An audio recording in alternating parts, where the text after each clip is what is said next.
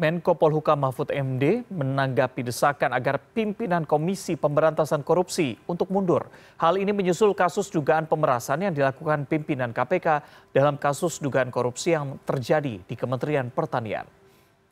Mahfud enggan berkomentar terkait desakan untuk mundur itu sebab hal tersebut akan disikapi oleh KPK langsung.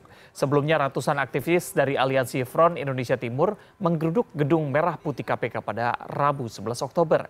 Mereka menuntut agar Ketua KPK Firly Bahuri mundur dari jabatannya.